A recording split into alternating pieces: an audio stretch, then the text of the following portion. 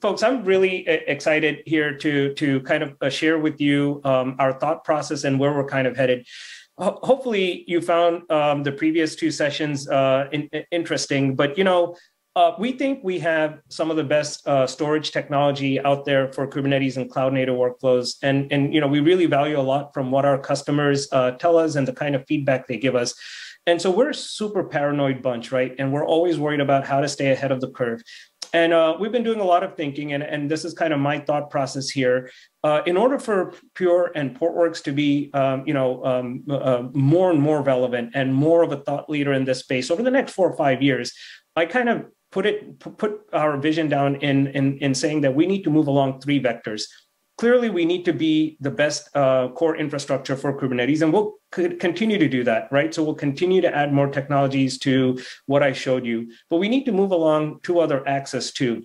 We need to add more cloud and services type of capabilities in our product, and we need to move more up the stack, embrace more of the applications that people are trying to deploy at the end of the day, our customers, right, they don't want to focus on infrastructure and, uh, at all. And um, for them, when they want to consume, um, you know, storage kind of resources, they're thinking of more about storage as a service or data as a service. And so they don't even want to manage their uh, SQL database. They just want it available as a service. And so I'm excited to talk about something called Pure Managed Data Services which is basically a curated set of data services um, that comes with a single pane of glass um, the end users can click and select and say, I want a SQL service, or I want a NoSQL service, or I want a message queue. And Portworx goes and provisions the application, including the storage infrastructure and networking infrastructure needed to make that happen in a very Kubernetes specific way, and ultimately gives the end user a very simple endpoint that they could use to interact with that service. We support out of the box a whole bunch of different databases here, Couchbase, um, uh, Redis, and so on. Uh, in the interest of time, I'm going to quickly turn it over to Umair. I want to introduce Umair, uh, who joins us recently. Uh, Umair uh, ran a, uh, DBA team, right? So Umair was a customer of Portworx, um, one of our early customers. And um, um, I won't mention the name of the company, but um, with a very small team, uh, four or five people, were able to support um, a very large number of developers for, for, for, for his company. And um, um, you know, ultimately, his customers would come to him and say, uh, "Umair and team, I want a SQL service," and they could just hit a simple button and it's up and running. They used Portworx under the hood. We were very intrigued by how they built that platform. We were able to get that technology, um, which uh, was called Project Stella, um, uh, which is now part of Pure, called PDS. And with that, Umair, I will turn it over to you. Okay, um, so this is going to be a demo of Portworx data services. As Gu mentioned, we're really just trying to move up the stack and get away from sort of the software-defined storage infrastructure level and really talk about things in terms that that end users really want to see, which is really applications. How do I deploy a database in Portworx or in on top of Portworx in Kubernetes and have it manage all of my underlying uh, storage needs? So kill this. Um, I'm going to show you a little bit uh, what the end user experience is going to be, but I'm also, because this is a technical audience, I'm going to dive down behind the scenes and show you actually what's happening uh, at the at the Kubernetes layer. But really, the the user experience is going to be really just uh, sort of a UI or an API, if if you know for DevOps, SRE types of workloads. If people want to automate this and build Terraform plans, this is all API driven, so they'll be able to do that. So what you're seeing here um, is our PDS uh, dashboard. If I flip over here, you'll see that I actually have a couple of Kubernetes clusters running. Um, this, uh, this terminal right here, this tab is my target cluster. This is one of the Kubernetes target clusters where I'm going to uh, deploy a database. Uh, the second uh, tab here is a second Kubernetes cluster. And then uh, this first tab here is actually my PDS control plane. So this is where actual PDS runs. This is a SaaS product. Um, we're going to have this running in our own uh, multi-tenant environment, but I'll show you what's going to be happening a little bit under the under the hood there. Uh, one thing to note in my two different Kubernetes clusters, you'll see these are different namespaces that exist in Kubernetes. And just I want to point out in target cluster one, I have created a dev namespace and a QA namespace. So let's go ahead and just look at this for a second. And then in target cluster two, there's a dev namespace and there's a prod namespace. So that'll come into play in a second when I'm actually going to deploy these things. Okay, so back into my into my dashboard, um, I'm just going to focus on a database deployment today. There's a whole uh, there's a whole part of PDS that deals with automating backups, running them on a schedule, taking, as Gu mentioned, sort of application aware snapshots, logical dumps of data, storing them up into an object store for DR purposes. But for today's uh, session, we're just gonna we're just gonna go through and, and, deploy a database. So again, the idea is to keep this simple, build in all of the um, the magic under the hood that is Portworx, but for the end user, keep it very very simple. From my UI, I get to select any number of supported database types. Um, today, we're just going to run through Cassandra um, deployment. These are all uh, curated images um, by Portworx. So um, you, can rest assured that whatever you select is, is one that's been tested on a variety of Kubernetes platforms and Portworx uh, storage. So we're going to pick the 3.11.9 uh, image. And this is where, um, if you if you remember a second ago, I was showing you the different namespaces that lived in different environments. So if I pick the, the dev environment, you can see that PDS automatically knows that uh, that that namespace exists in two different uh, Kubernetes clusters. Likewise, if I pick prod, you would see that it automatically is aware of where that environment lives or that namespace lives. And likewise, if I pick QA, you'd see that it's it knows that it was in target cluster one. So what I'm going to do actually today is I'm actually going to deploy into the dev environment and actually deploy uh, clusters into both uh, Cassandra clusters into both Kubernetes clusters simultaneously. So we'll call this tech field day. I'm presented with uh, some pre-configured templates. Uh, so an, an, administrator could have come in here and said, I only want people to be able to deploy small Cassandra clusters, meaning minimal CPU or minimal storage. Um, and uh, and these these values get auto-populated. I can actually override these. So I could say um, these are these specific configurations down here are going into my Cassandra uh, image itself.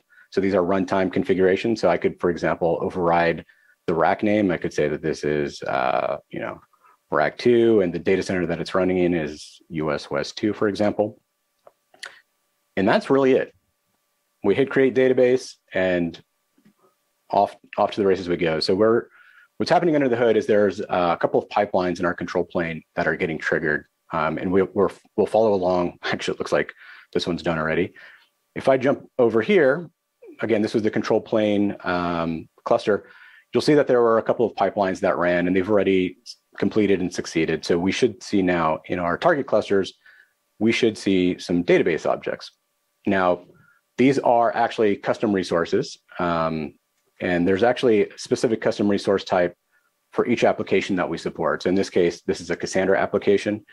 You'll notice that um, the specific configurations that we that we asked for are, are specified here. One other thing I want to point out, again, this is using Portworx magic under the hood. If you remember earlier in, in, in Joe's session and even Gu's session, they were talking about storage classes that that get created in, in Portworx.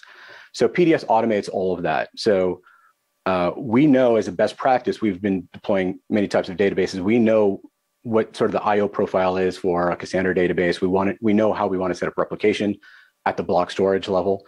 So we go ahead and automatically create a new um, storage class to handle that. So you can actually see, um,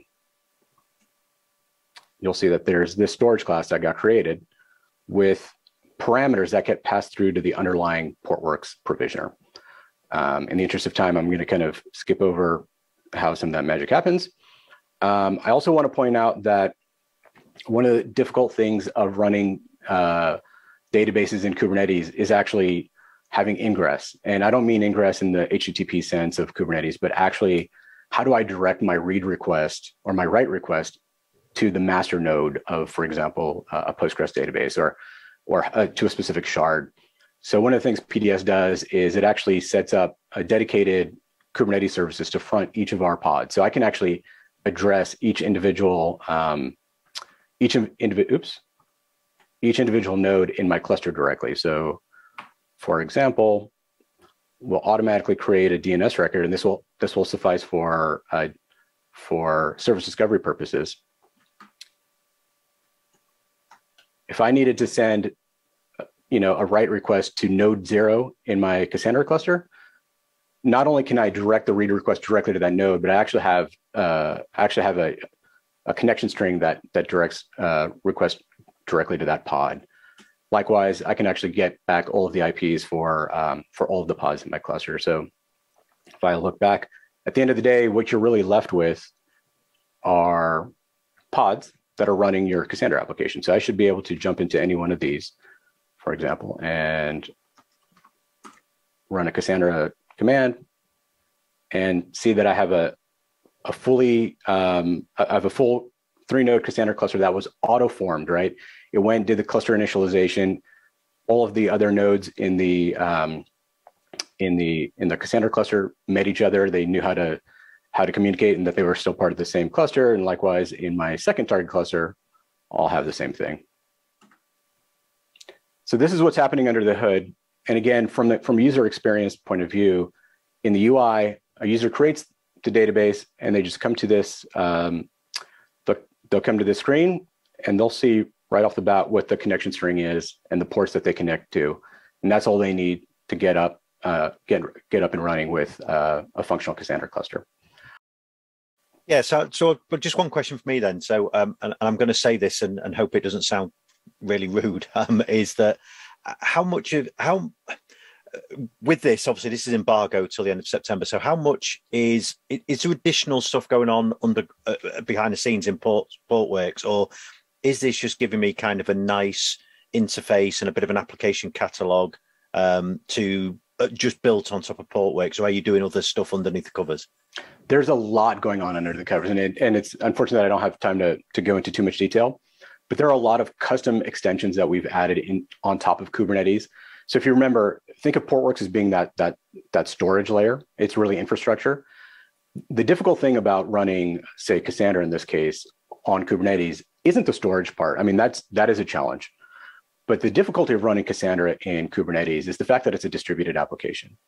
And you have multiple Cassandra nodes that need to be able to talk to each other um, and you and if one of the one of the nodes fails, then does another pod start up and does it get attached to the same data? Is there a notion of identity, uh, failure detection, and all these types of things? And then even the day two operations, automating backups, monitoring these things, um, uh, and cluster lifecycle management if I want to upgrade a database cluster again. So this is all focused at the application level for the end users that really want a seamless experience of running uh, a Cassandra database as a database as a service. Um, and then to enable that to happen, of course, under the hood, we're leveraging many of those features that that you saw in previous slides from Joe and and Gu on those different components of pxStore and backup and migrate and all those things. So all of the underlying functionality that you saw that Portworx supports will actually be available here in sort of a, a an on-demand or easier to use, nice UX UI UX experience for a user. So, so it's more than just pretty window dressing. There's there's a lot more going on. Yeah, to, and and to be frank with you, the the window dressing is the last thing that we've actually added on on here. So we're we're still working through that that that UI UX experience. Um, but under the hood, it's all API driven. There's pipelines, there's API servers, there's there's multi-tenancy and quotas, and managing of all of these app- applications that actually get deployed into Kubernetes. And like I said, extending out the the Kubernetes APIs themselves to enable uh, some of these types of resources. So that thing that I showed you in an example that that Cassandra resource is not a native Kubernetes resource. That's something that we've invented. Uh, likewise, those those DNS endpoints that we create, that's not something that comes with with uh, Kubernetes out of the box. So we enable that, and we connect to our own SaaS platform to dynamically create DNS endpoints to enable service discovery for for databases and PDS. That's great. Thank you. Yeah, you bet.